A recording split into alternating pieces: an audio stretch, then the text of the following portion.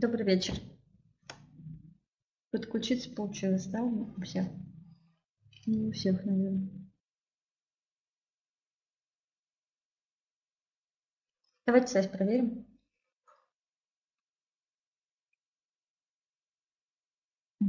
Хорошо. Так, а, тема у нас сегодня вакцинация животных и протокол ветеринарной ассоциации для мелких животных. Давайте начнем.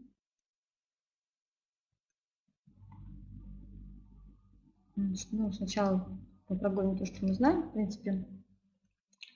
Все мы придерживаемся да, этого протокола. Ну, там есть не, некоторые нюансы. Значит, вакцинация у нас считается важнейшей мерой для профилактики заболеваний инфекционных. И суть вакцинации у нас заключается в введении в организм животного возбудителя заболевания в ослабленной э, форме. После этого иммунная система у нас вырабатывает иммунитет против определенного заболевания, которое ввели. А за 10 дней до вакцинации а, у нас принято обрабатывать животного от паразитов. А, ну, 10-14 дней. Желательно это делать двукратно, если нерегулярно идет обработка животного, или если это маленькие животные, щенки, котята или первый раз вакцинируются. Значит, Перед вакцинацией у нас необходим осмотр а, общий, а, так как животное перед вакцинацией должно быть клинически здорово, условно клинически здорово, потому что полностью а, обследование мы не делаем, никаких анализов мы не берем. Единственное, если животное у нас не обработано там, от паразитов, но взрослое считается, да, прошло, например, 3 недели или 4, то мы можем предложить взять кал исследование на паразитов. Значит, э, вакцины у нас э, есть разные, да, и какие-то содержат ослабленные вирусы, какие-то содержат погибшие вирусы. Э, сами эти вакцины, они вызывать заболевания не могут, они просто способствуют выработке антител. Ну, другими словами, у нас питомец получает специфический иммунитет к определенному заболеванию, от которого он вакцинирован.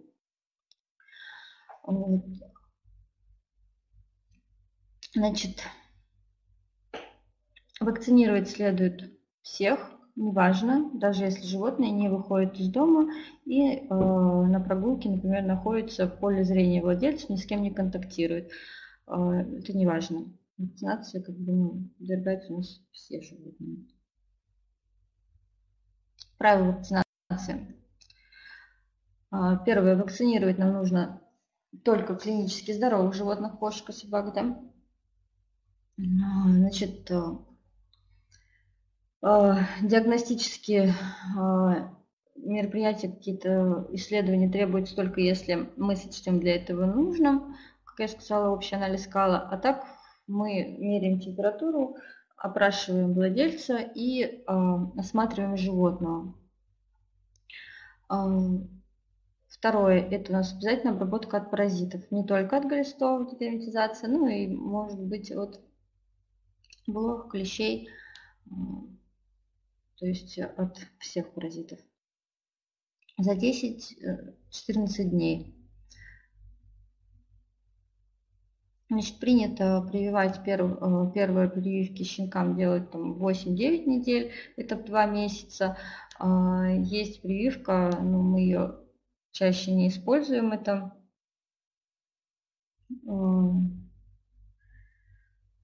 для щенков, которые раньше, там, да, полтора месяца можно прививать. И повторная прививка уже осуществляется через 3-4 недели. А раньше были прививки, которые ревакцинировались через 2 недели, сейчас их нет. А также в ревакцинацию мы уже делаем вторую вакци... А, дополнительную вакцинацию против бешенства. С трехмесячного возраста бешенство уже у нас вакцинируется. Котят вакцинируют с 9 с 12 недель. На бивакпапе, да, но его не все используют, как бы он считается, ну, и можете прививать, можете не прививать, не обязательно, обычно с двух недель даже ой, с двух месяцев, может, даже прививаем, все. Вот. Не все пользуются папе, я тоже его не прививаю. Значит, а, повторяют процедуру также у котят через 3-4 недели. И уже ревакцинацию делают с бешенством. Значит, э, некоторые у нас врачи э, после первой вакцинации также через две, три, э, через две недели дают повторный от глистов. Ну, я так не делаю. Мы дел, я, дел, я стараюсь, чтобы у меня владельцы обработали сразу двукратно перед вакцинацией, да, подготовили собаку, если требует, если необходимо, то мы дадим анализы, а потом вакцинируем, чтобы во время вакцинации не было никаких изменений у животного. И после второй прививки, через 10-14 дней, у них уже э, вырабатывается активный иммунитет. И животное можно, э, ну, щенка можно выводить на улицу, и э, он может общаться с другими вакцинированными животными. Во время вакцинации у него карантин, какой карантин мы знаем, да, это основные правила, не купать, не переохлаждать, там, жирный, соленый, копченый не давать, блох от глистов не обрабатывать, нового ничего в рацион не вводить. А, и последующая вакцинация у нас уже проходит раз в год, каждый год. Желать, а, ну, для владельцев я говорю, чтобы а, как бы не через ровно через 12 месяцев приходили, а через 11. Можно чуть раньше, либо ровно 12 месяцев.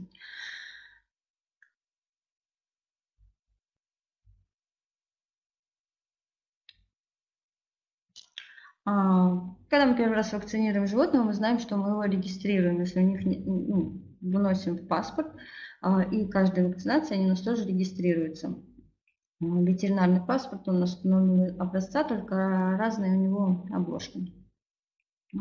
Туда мы вносим данные о вакцинации, о дегерметизации, обработке от блох, клещей и другие какие-то изменения. Изменения мы заверяем вакцинацию мы заверяем печатью и ставим свою подпись, печать клиники или ветеринарного врача, если он не в год, раз в год. Там э, у всех вакцинаций своя инструкция. Повторяют через год, но там как раз в год получается где-то около 12 месяцев подходит. Вы когда 3 месяца приводите, вы говорите, приходите через, через 12 месяцев. А, у всех вакцинаций в инструкции стоит раз в год. А, просто некоторые врачи почему-то у нас да, в 6 месяцев делают ревакцинацию. Вот. А так вообще через 12 месяцев мы повторяем. А, на некоторых вакцинах указано там больше, допустим, при бешенстве, да, там 2 года может вакци... Э, бешенство там действовать вакцина. Но в связи с эпизодической обстановкой у нас меняются немножко да, правила, поэтому каждый год вакцинирует.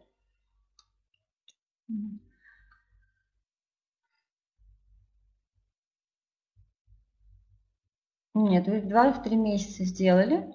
Да, и получается год-два месяца где-то ему получается. В принципе, это нормально.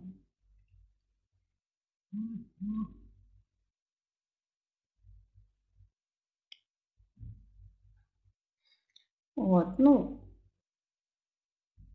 да, вы правы. Год, два месяца получается, где-то два-три месяца. Ну, от вакцины. Ну, ровно в год, это да, при, говорят многие врачи, но когда вы правильно вакцинировали животное в два месяца и в три месяца, то следующая вакцинация у него уже идет через 12 а, месяцев. А, многие не уверены там, в действии вакцины, да, и насколько вырабатываются антитела вот, из-за этого. Но мы сейчас дойдем до правил этой ассоциации ветеринарных врачей. И там у них вообще не рекомендовано прививать раньше животных по, по этим правилам. Но каждый врач и каждая клиника, э, ну и даже каждый регион по своей эпизодической обстановке, он там менять может э, правила вакцинации. Вот. Но мы все вакцинации, в любом случае, когда приходит новая вакцина, с которой мы не знакомы и не имели дела, мы должны ознакомиться с инструкцией. первое. Второе, даже если мы знакомы с этой вакцинацией, но у нее может поменяться инструкция, например, там введение вакцины. Да? Если раньше она вводилась внутримышечно, то ее могут делать подкожно. Ну, то есть нам нужно смотреть инструкцию в любом случае, всегда читать.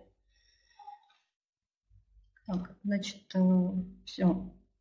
Данные мы вносим в паспорт, регистрируем и ставим печать. Печать э, на вакцинации обязательно должна быть заверена врачом и штамп стоять ветеринарной клинике. Если мы делаем бешенство, да, то номер, который нам дает государственное учреждение, э, мы должны регистрировать это животное. Бешенство в любом случае с трех месяцев, ну, везде указано.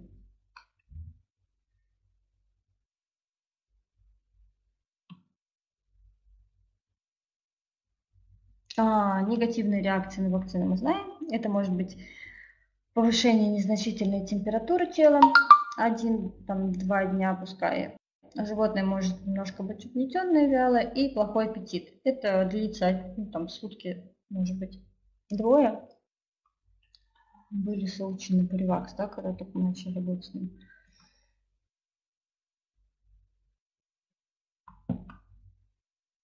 Неэффективность вакцины, возможно, такие, значит, а,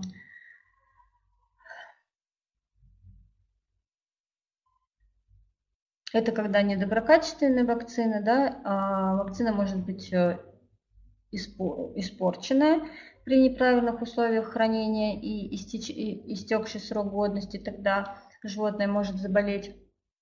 Мы знаем, что хранить вакцину мы должны в холодильнике и транспортировать мы должны только с хладоэлементами, и поэтому мы не вакцинируем животных, которые ну, вакцинами владельцев.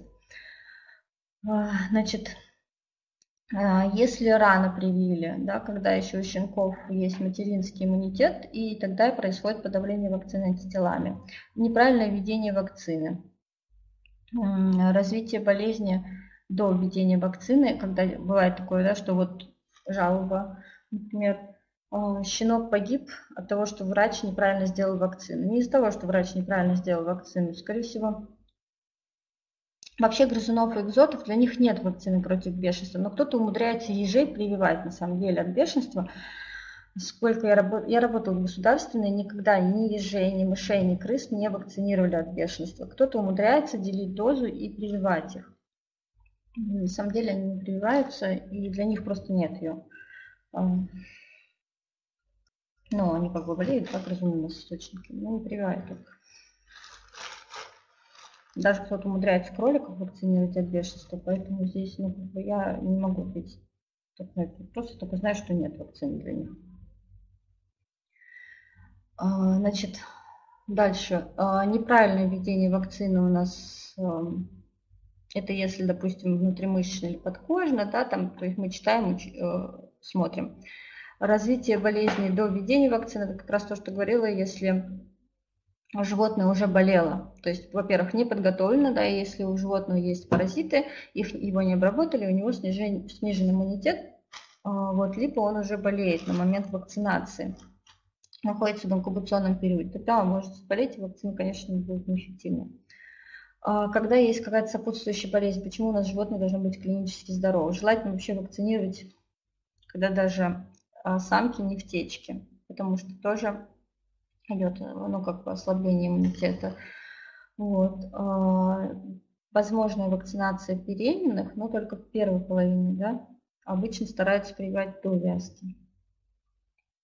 Вот. И неправильная доза введения. Когда некоторые считают, что если маленькая собачка, нужно разделить дозу, сделать половину. Нет, если написано доза идет на голову, значит доза на голову идет, ее нужно прививать. Если мы боимся каких-то последствий, там аллергические, э, аллергической реакции, анафилактический шок, мы делаем антигистаминный препарат.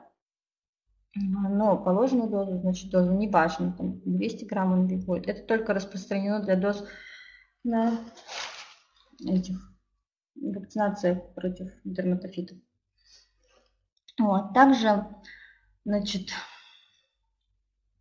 ну, у прослабленных животных еще можно сказать, если мы обследовали, вроде да, не выявили, а у него было что-то.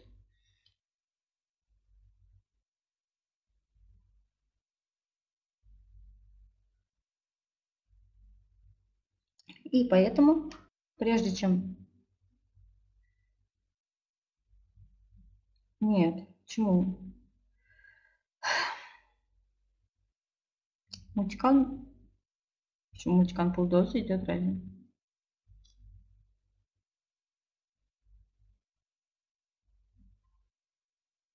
Вот, а... Мультикан повторю, потому что не так часто прививаю, но, по-моему, там, не помню, по-моему, тоже доза, доза идет. Вот. А, по инструкции, ну, если идет полдозы, значит вы полдозы. Если не идет, если написано дозировка, доза, то значит вы дозу прививаете. С мультиканом мы сейчас разберемся попозже.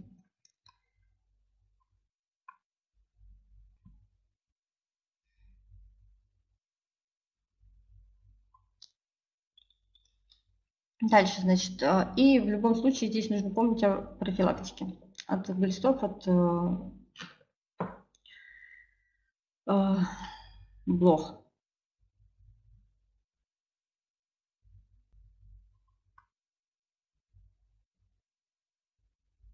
Дальше, то, что у нас написано в руководстве Международной ветеринарной ассоциации ветеринарных врачей по вакцинации и собак и кошек.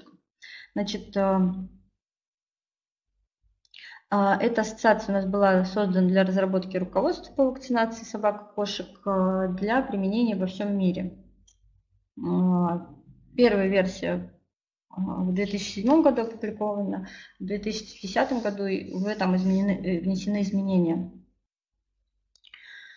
А, значит, в ней содержится все правила о вакцинации, научные данные, на которых разработаны эти рекомендации. Значит, э,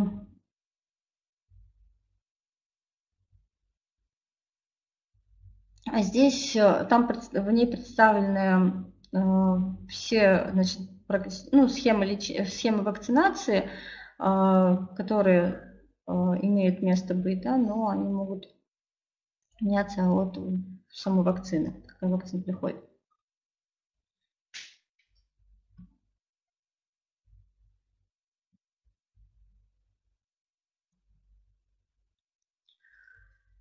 Ой, значит, а, значит, группа у нас а, Международной ветеринарной ассоциации мелких животных, она выделяет базовые вакцины, которые должны получать все собаки и кошки, независимо от ситуации географического положения. Эти базовые вакцины, они обеспечивают защиту от тяжелых а, болезней, а, распространенных по всему миру. К базовым вакцинам мы относим это чума собак, аденовирус собак, паровирус собак. У кошек это паровирус кошек, кальцивироз, герпес вирус – а, там, где у нас, значит, эпизоотология не очень хорошая с бешенством, значит, вакцинация против бешенства базовая считается, да? А в России у нас она считается тоже базовой. Вот.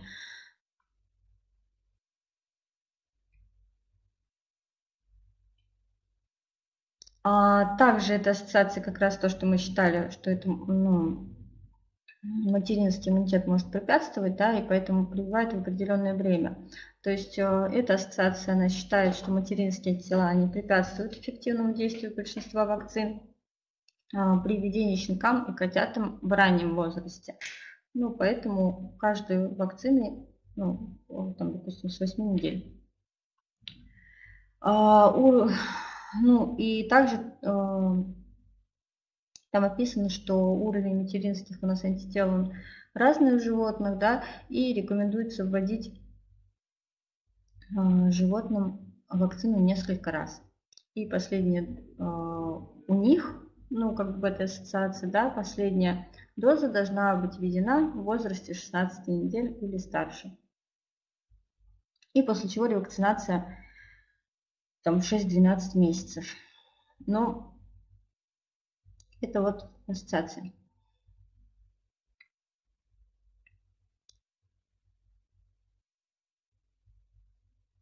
А, также а, учитывать нужно то, что животных не нужно вакцинировать без необходимости.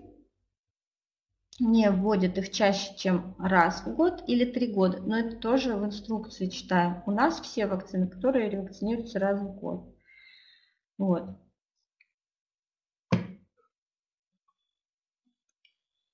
Про бешенство написано, но у нас там и то, там тоже по бешенству своя схема, чтобы он, оно там действовало три года. Вот.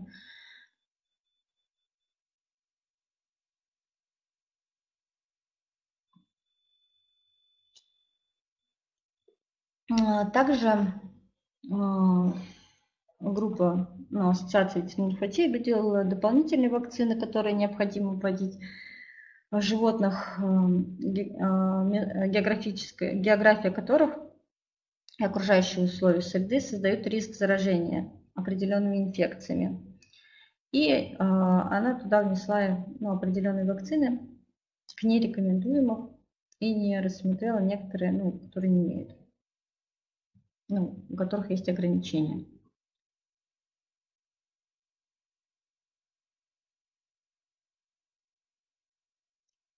Цель руководства.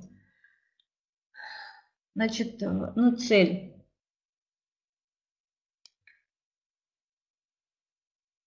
А, значит, руководство э, ветеринарной ассоциации, оно не является наборным э, применяемым во всем мире правил введения вакцин. А, значит, оно сделало одно правило, да, но как бы нужно учитывать по странам, потому что по всем странам оно не может ставить ну, как бы индивидуально, так как существуют различия по странам и регионам и в плане а, инфекционных заболеваний, да, доступности вакцины, какие вакцины а, производятся, там есть наличие. Вот. Поэтому цель руководства состоит в том, чтобы определить, а, ну, дать рекомендации и практические подходы к вакцинации. Вот. А также клиники имеют... Угу, хорошо. Вот. А также, значит, клиники имеют возможность самостоятельно э, руковод... ну, как бы пользоваться этим руководством, либо обсудив их э, и уже э, как бы исходить из своих ну, перечней вакцин, да, и по, инструкции уже действовать. И какие заболевания ну, как бы, чаще всего вспышки заболеваний в стране бывает. Ну и также в этой, значит, руководстве рассмотрены а, вопросы о вакцинациях в приюте животных, да, а, как их следует вакцинировать и что они более вакци... ну, как бы восприимчивы.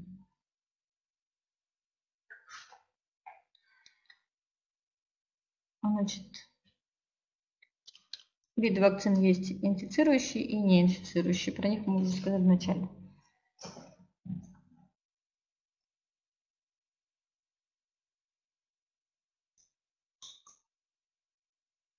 Значит,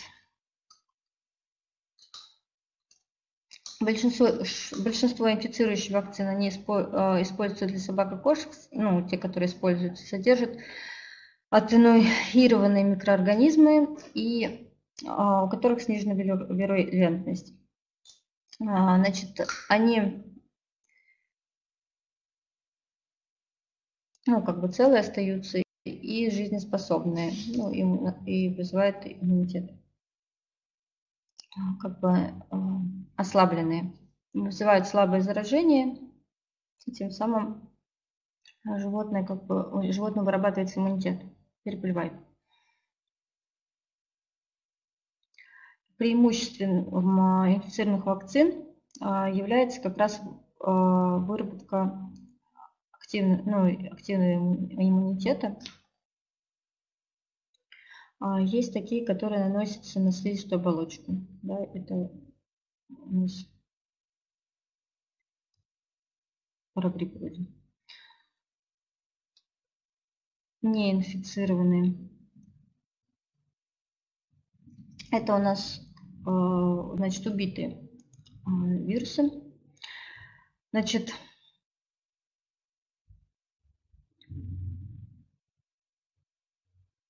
они также вырабатывают, ну, они не заражают животное, но вырабатывают иммунитет.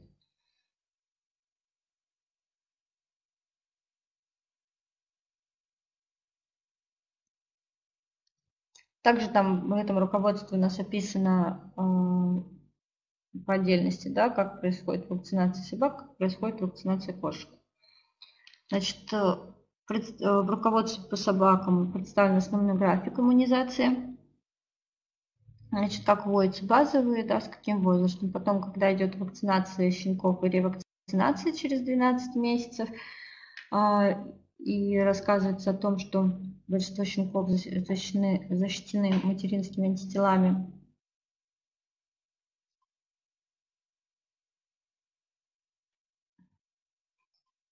Вот, значит,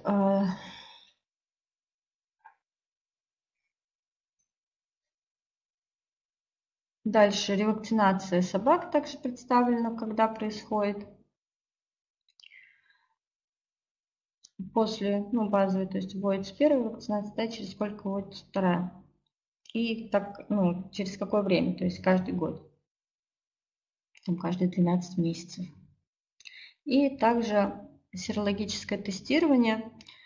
Кстати, серологическое тестирование иногда требует на когда а, животных перевозят за границу к вакцинации на бешенство.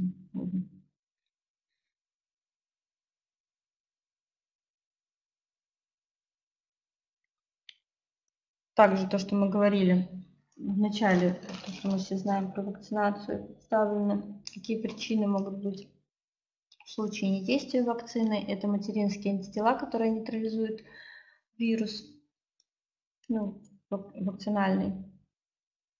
А, значит, когда рано прививают. А, также,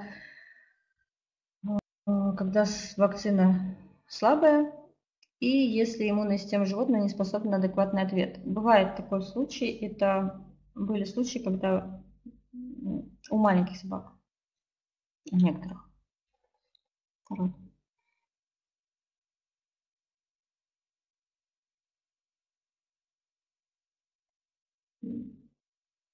Ну, для этого делают серологические тестирования, но у нас в лаборатории наши, по-моему, не проводят это вот, дополнительно надо. А, руководство по вакцинации кошки также там а, представлено. А, когда идет, значит, также основной график, да, основной график иммунизации, применения базовых вакцин, дополнительных и тех, которые не рекомендуются вакцины. Значит, базовыми вакцинами считаются, уже говорила про вирус кошек, герпес, вирус кальцивироз. Ну, э, и в некоторых странах, ну, у нас это обязательно бешенство. Как у нас э, требуется по законодательству.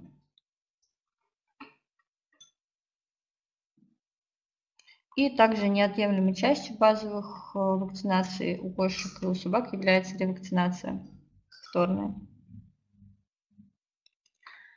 А, следующее, значит, ну, это вакцинация котят, ревакцинация, там 6 и 12 месяцев. 12 месяцев. Если у нас они привиты 2, 3, то 12.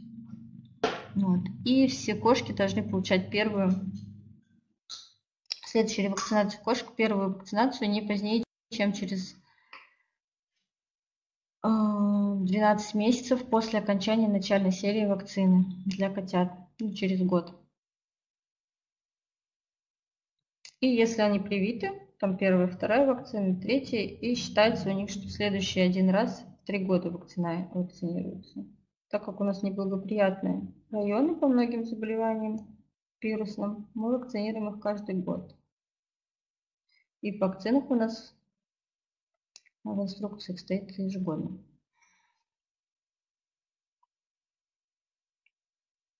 Также описаны места инъекции, но для каждой вакцины это индивидуально, потому что есть, которые внутримышечные, есть, которые подкожно вводятся.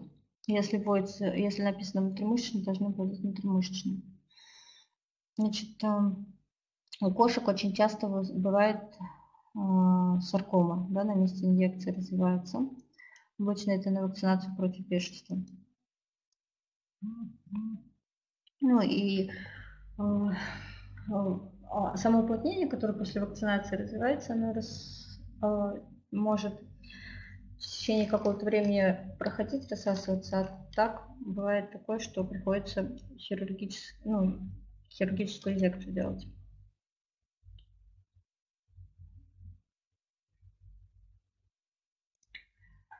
Значит, для этого просто нужно правильно вводить вакцину, да, под, ну, подкожно, не меж кожу.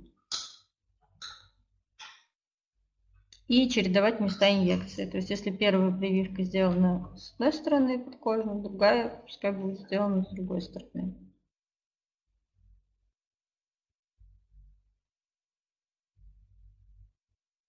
Ну, вообще инъекции нужно чередовать. Если много, а, если в одно и то же место колоть, конечно, будет на многие препараты. Просто нужно чередовать место инъекции. Кошек просто это очень развито.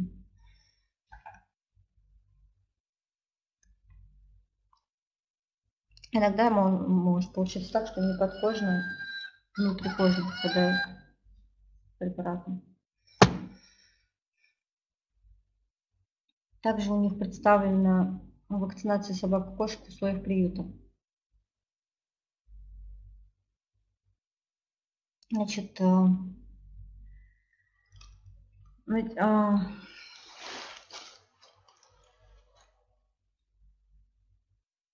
если а, собака поступила в приют, ну, может, ну, я не, не буду здесь с вами спорить, может и одна инъекция спровоцировать, это все зависит от э, индивидуальности организма, да. Мы не знаем, как она спровоци... как какая реакция будет.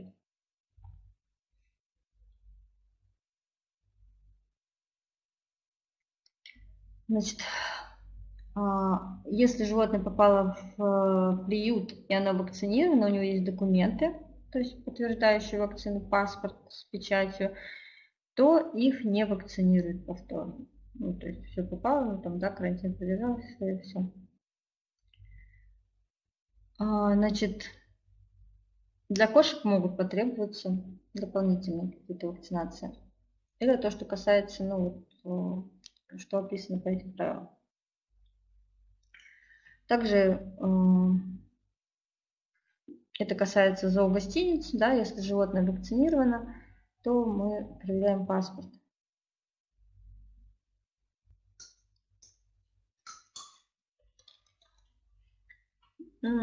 Какая забота о животном за пределами вакцинации?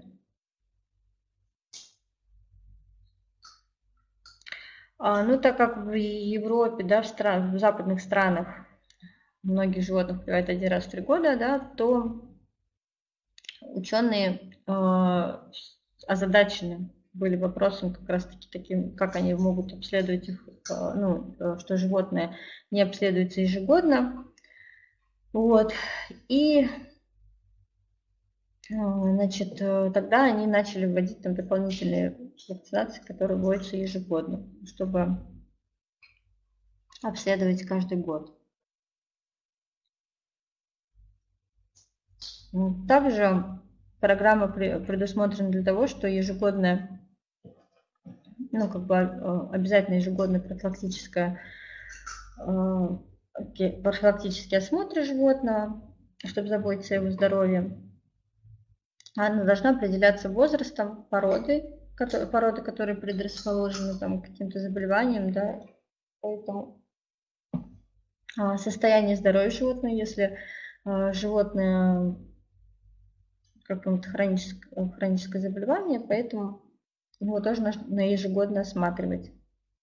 Вот. Также окружающая среда является а, одним из показателей наблюдения ежегодно э, стиль жизни. Это контакт с другими животными. И э, путешествие владельца, да, как часто животное уезжает. А, ну, молодым животным важны вакцинации именно, контроль против ну, обработки от паразитов и стерилизация. Для пожилых животных это уже какие-то хронические заболевания, также заболевания, связанные с питанием, контроль за здоровьем.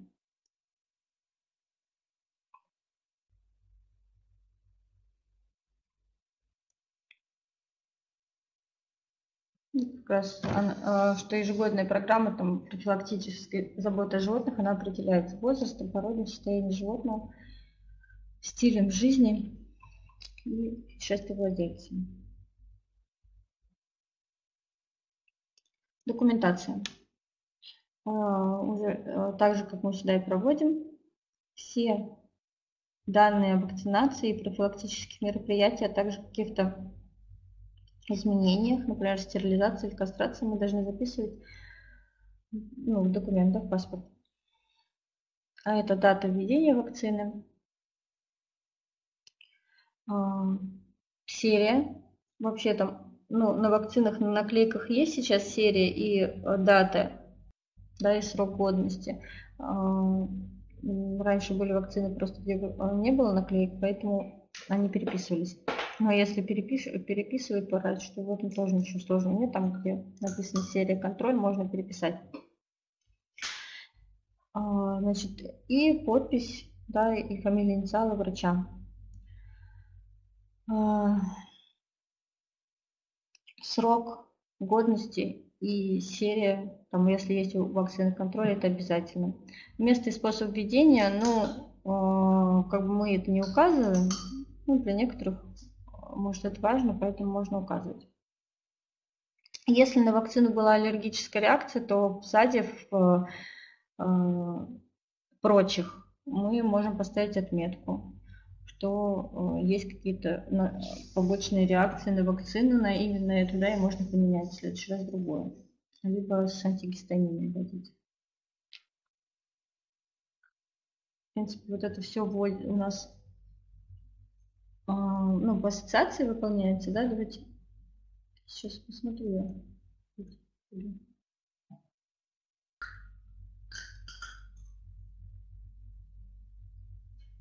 Вот, мультикан открыла. Значит, у нас мультикан есть разные фасовки. Получается,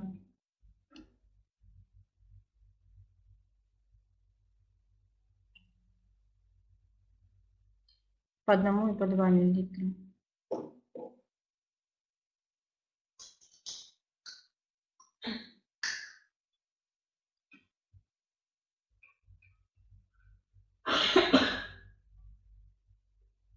Три миллилитра, и мы тогда вводим его по, по половине. Получается у нас 1 миллилитр, собака мелкий. Это что касается мультикана, да. Что касается остальных, которых мы часто, набивак и урикан, то там одна доза указана. А, также есть вакцина, например, против бешенства.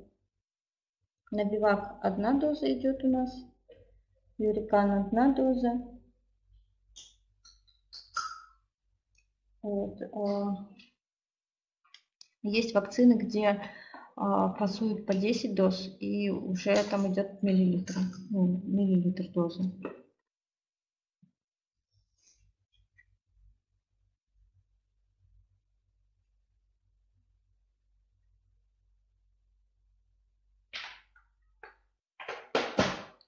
И также, допустим, возьмем на мультикане, да, и здесь э, его вводят внутримышечный мультикан, значит, получается, что подкожно мы его уже не можем вести.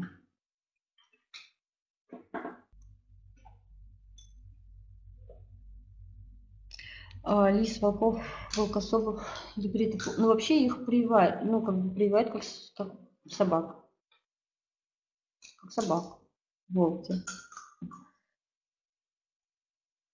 Для один для них нет. Ну, э, у нас в зоопарке прививали обычные вакцины, а, а этот Рубикан, бешенство.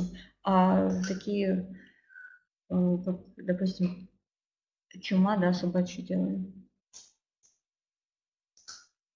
Пожалуйста. А енотов тоже собачью прививают. Пожалуйста. Это все зависит от, ну, там, к собачьим относится. Ну, здесь нужно уточнять по-любому, когда к вам приводят животное, которое, ну, как бы не специфично, да, хищник какой-нибудь, то неизвестно, чем прививать. У нас медведь в зоопарке, он тоже рабиканом прививался, а другие вакцины никакие не делались, только бешенство. А кошачьи прививались кошачьими.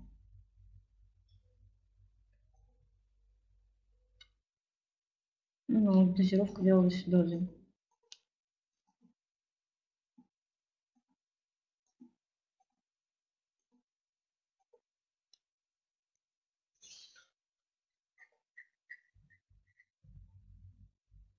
Ну, в принципе, все.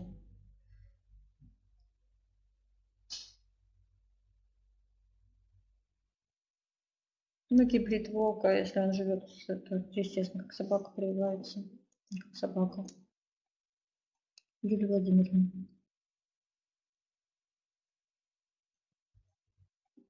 Шарушка.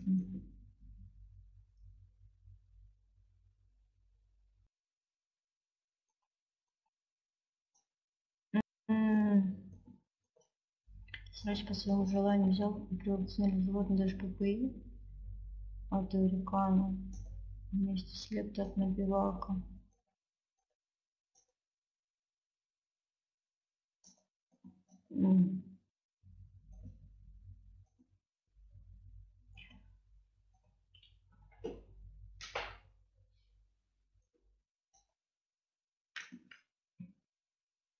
Вообще-то как бы ну, реакции никакой не было за животного. Это он по своей, ну так, по своему желанию так врач захотел. Посчитал.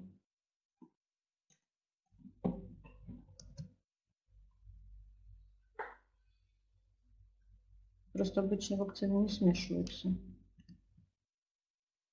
Как бы бывает в случае по ошибке как-то прививают, но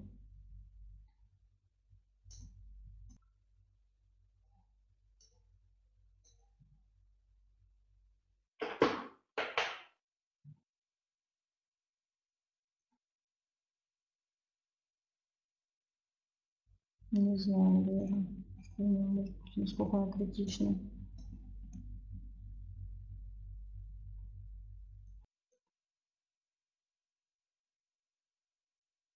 Так, владельцам нужна была вакцина Урикан просто. Никаких не было наличия, только Урикан с бешенства. Вроде так.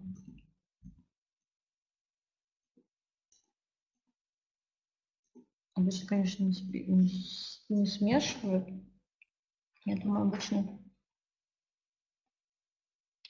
Нет, ну, тут, наверное, реакция-то, в принципе, не будет особо. Вот будет ли вакцина в этом случае как бы действовать, но просто не смешивать, потому что ну, их, они сделаны по-другому. Вот, а реакции может быть и не быть. Ну, на эврикан часто реакции, ну, бывает у животных, чаще всего, сколько у нас было, на лептоспироз они реагируют. Мелкие собаки. Но если сразу в течение какого-то времени не было, то, может быть, реакции дома-то не было. Сработала ли сама вакцина? Потому что она уже как бы изначально неправильно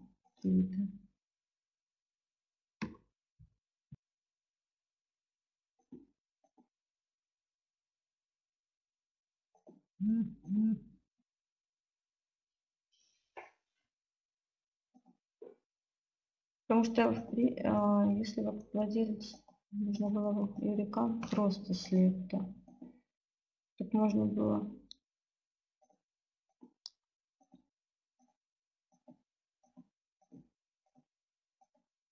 по отдельности им неудобно ходить. Ну, понятно. действия врача, потому что владельцам, если вы привили по отдельности, допустим, Эврикан, там даже ППИ, да, через две недели сказали бы на Эврикан лепту прийти, или там на набивак лепту. Им просто неудобно, поэтому я вообще сделал так. Не знаю, я так никогда не делала. Даже ревакцинацию нужно стараться делать той же вакцины, но бывают исключения, что через 3-4 недели, если нет вакцины, прививают другую. Но этого нужно как бы, ну, не злоупотреблять этим. А ежегодно уже можно как хочешь прививать.